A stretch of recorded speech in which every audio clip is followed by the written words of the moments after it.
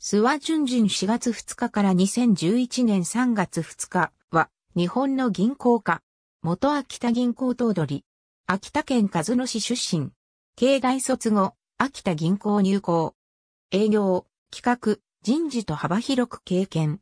東北の金融界においても顔が広く行動派と目されていた。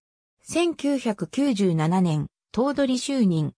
2期4年の在任中は、1999年の創業120周年、新店頭体制への移行や、共同バックアップセンターの設置また、有志パソコンシステムの導入やエリア営業体制の施行のほか、本部に IT 戦略室を設置。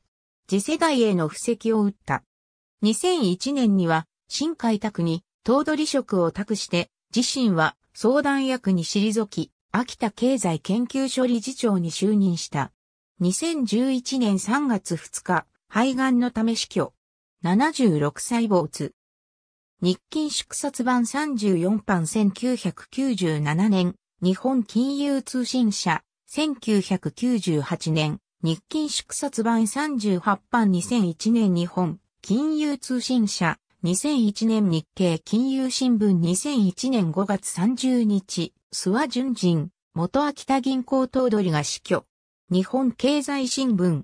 http コロンスラッシュスラッシュ www.nikkei.com スラッシュ article スラッシュ tgxnasdg0203ks1A300C1C1000 2013年9月30日閲覧ありがとうございます。